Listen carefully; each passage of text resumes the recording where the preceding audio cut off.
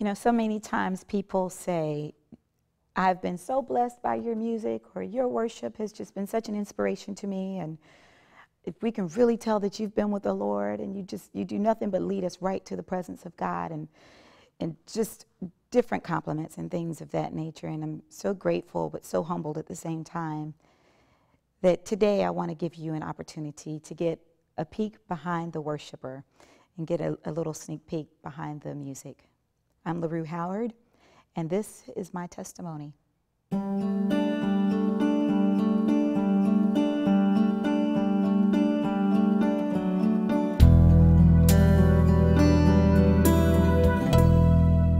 So I'll start at the beginning. I grew up in a rural town of uh, South Carolina, Ridgeland. I was the daughter of a military man, a Army, 22 years, and my mom, both from South Carolina. I was born in Missouri. And my family uh, had just relocated to South Carolina right after I was born. And um, my parents were wonderful parents, but they were not wonderful to each other. I was, uh, I grew up in a, in a home of domestic violence. I had visuals of my parents fighting, my mom and dad uh, just going at it. Um, I remember so clearly, like it was yesterday, my dad fighting, and punching, and sitting on and hitting my mom. Now, to meet him today, you would never realize that. It was just the grace of God that he didn't kill her. And um, when I was about seven years old, they divorced. And it was to both of their benefit because I know that if they'd stayed together, that he probably would have killed my mom. And soon after the divorce, my mother and I uh, relocated to Columbia, South Carolina, where she had me heavily involved in music. I grew up in church, Baptist church, and was always singing in the choir, was always uh, taking piano lessons, always taking dance. And I think that was a place where my love for music came from. Uh, that was a place where I could, could run to and be safe, where I found uh, my identity. I felt like I, I, was able to be successful in that. So in middle school, uh, found my passion for music. Even throughout high school, uh, joined the choir, learned how to really read music and just become engulfed in that.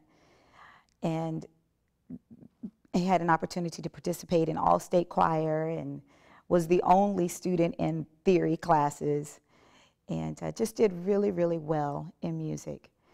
And on the flip side of that, I still was this little girl on the inside searching for significance, searching for an identity, trying to figure out what is this life all about?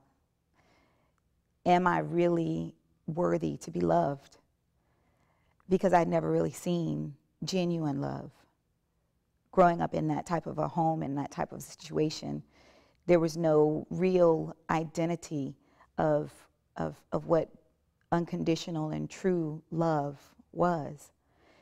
And so throughout high school, still trying to find that, reaching out through different boys and experimenting with different drugs and alcohol just trying to find some place to really find some, some type of significance to my life.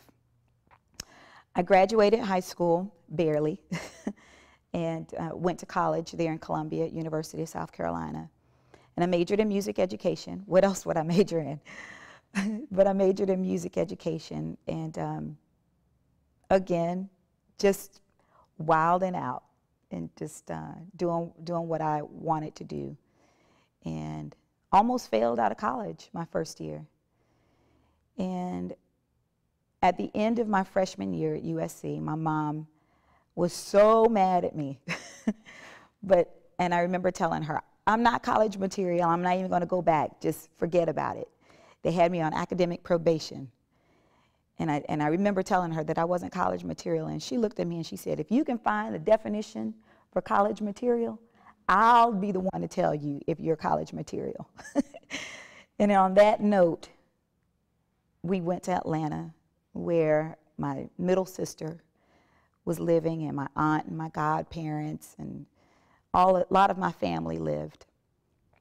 And uh, my mom took me to Morris Brown College. My oldest sister graduated from there, and uh, she she took me there, and we got to meet the choir director at Morris Brown, Mr. Glenn Halsey, and I sang for him, and he offered me a scholarship right there on the spot. And I still didn't even know what was going on, but I, I uh, started attending Morris Brown College, and I didn't major in music. I figured I wasn't good enough for that. I, I failed at it at USC, so I tried something different. I majored in nursing. Why nursing? I, I, had the opportunity to volunteer at the hospital back in Columbia and uh, thought, you know, I really enjoyed taking care of people. I really enjoyed um, doing things and helping others, so maybe I can do nursing. But the whole time I was there as a nursing major, I constantly found myself in the music department. And it was just something about being surrounded by other people that loved what I loved. And while in the music department, having different experiences from concert choir to gospel choir, I learned something that I'd never experienced before, and that was a different side of God.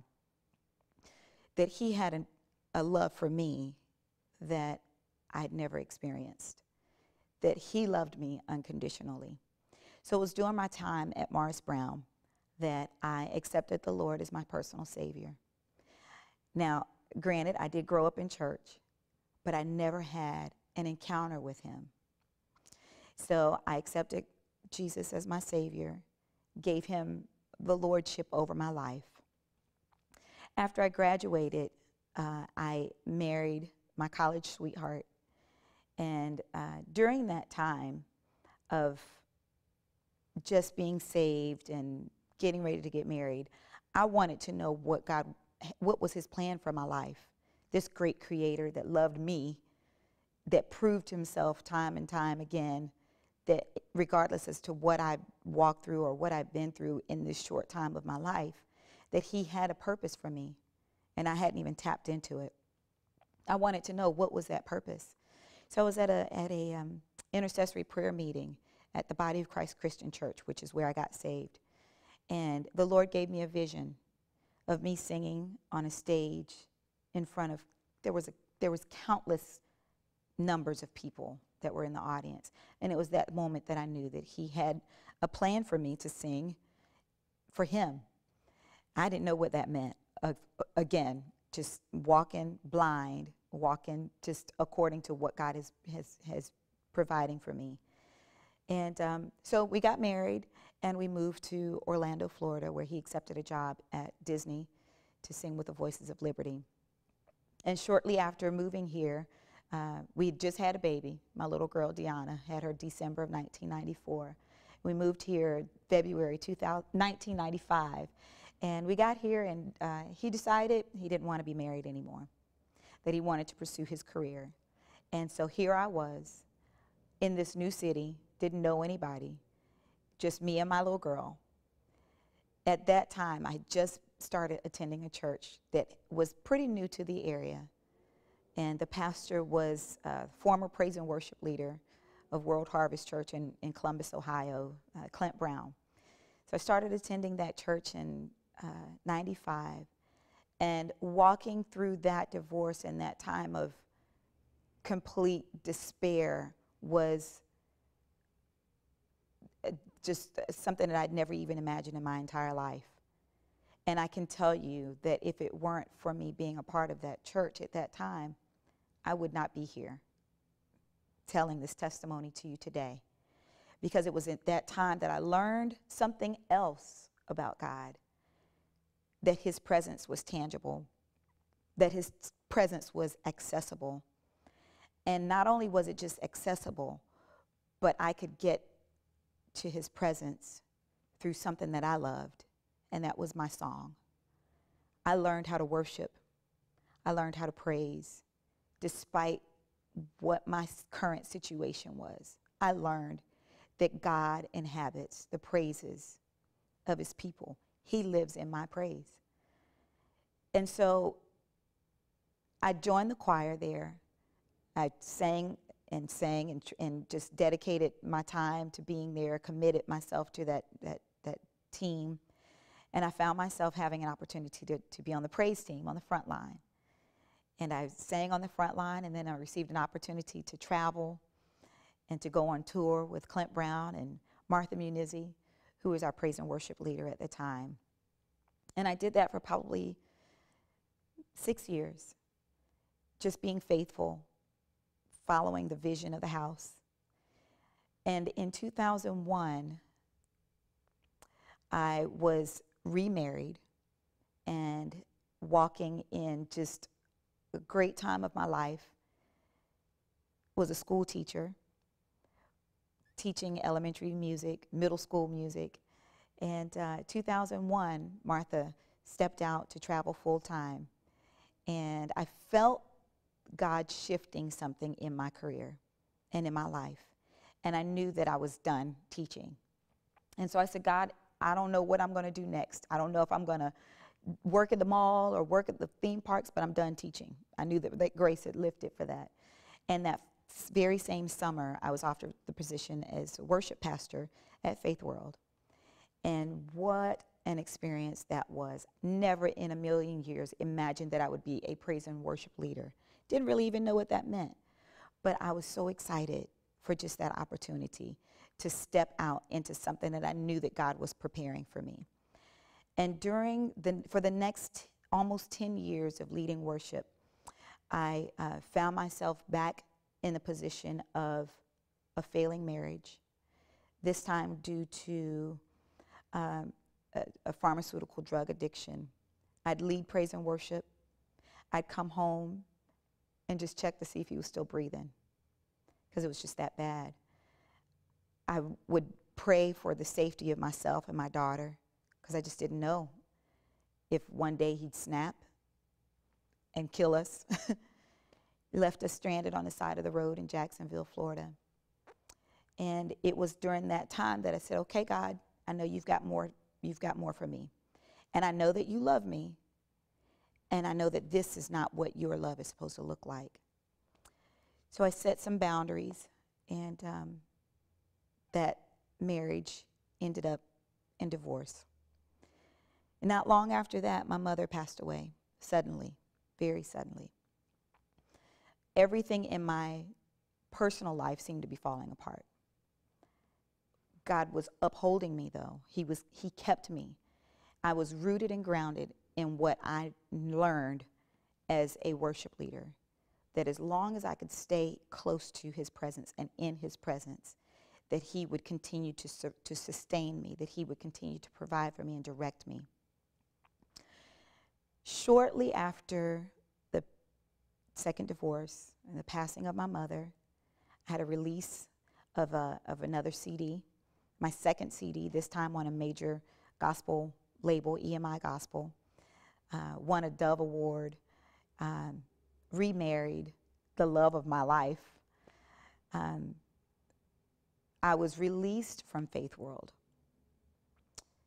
It was a three year process of God taking me from a place of comfort and stability to a place of complete uh, surrender, moving me into the unknown. I gave my resignation in August of 2010, and another nine months following, uh, I was completely released. May of May of 2010. So the resignation came August 2009. The release came May of 2010. And uh, the Lord led me into the wilderness, me and my family. We'd had another baby. And we were in a place of complete trust, moving from a place of God, we have we, we've been receiving great income and and medical insurance and just stability and comfort into a place of what do we do now? Not, not one time did we lack. Not one time did we miss any bills. But the Lord, month after month after month, continued to provide. And I'm so grateful today for him teaching me and allowing me the opportunity to learn how to access his presence and how to hear his voice. Because there was another, another situation that came up in 2011. I was in the midst of traveling full time and uh, had just completed another project on my own. Was traveling with uh, Pastor Benny Hinn and just doing really well. And we were really comfortable in, in, in resting in this wilderness place with God. I was on my way home coming from a service at the River of Life Christian Center, uh, my family and I. And everything was cool.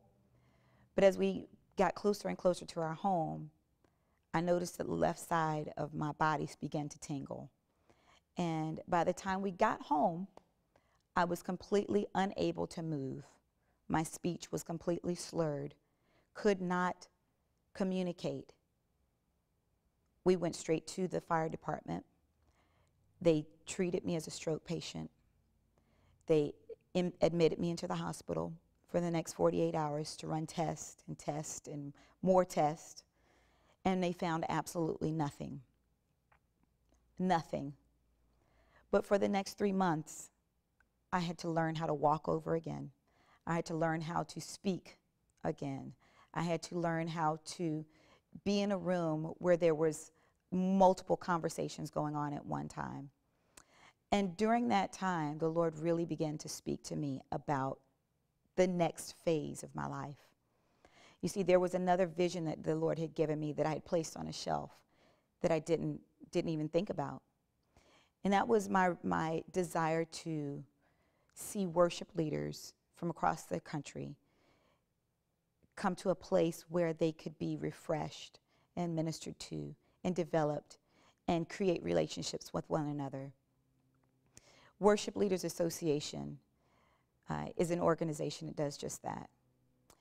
And so during those three months of recovery, I pulled the, pulled the vision back off the shelf. And we, we, we rebirthed WLA.